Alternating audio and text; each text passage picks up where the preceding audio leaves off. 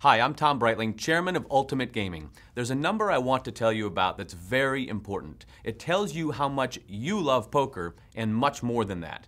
On April 30th, 2013, we launched UltimatePoker.com as the first real money regulated online poker site in America.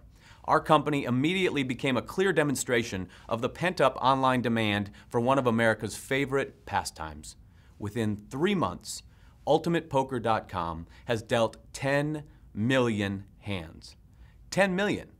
Now, this is a nice little factoid about the creation of our new business, but recent events really make this number stand out. Uncle Sam let more than a billion dollars in tax revenues slip right through his fingers. Here's how. Online poker players in America sent billions of dollars to companies operating illegally on islands in the middle of the ocean. This money was not taxed, these companies were not regulated, and the American players were not protected.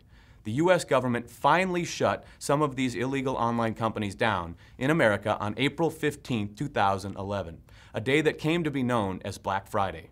For a decade, we've been looking at this lose, lose, lose proposition when it comes to online gaming. I call it the lost decade. Laws have been changed, and we now have an opportunity to do online poker the right way. One small but very dependable solution to America's debt burden is quite simple. There are an estimated 50 million Americans who love to play poker. It's America's favorite card game. Many of them wish to play online. Let them. Let them by legalizing online poker around America. Regulate the companies that offer it. Create jobs as demand for online poker grows. Use the increase in tax revenue to help pay our debts, rebuild our infrastructure, and improve our schools. That's just what we've been doing in Nevada since April 30th when Ultimate Poker became the first company to offer real money, regulated online poker. UltimatePoker.com is now the largest legal poker room anywhere in America. The results are clear. State of the art technology made in America that is used by Ultimate Poker has stopped anybody under 21 from playing the game. It's also kept out anyone from playing outside Nevada state lines. Regulators have looked over more than 700,000 pages of documents that conclusively prove this. Demand has been huge.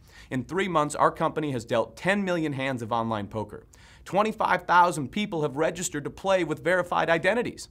These registrations have come from all 50 states and 39 countries around the world.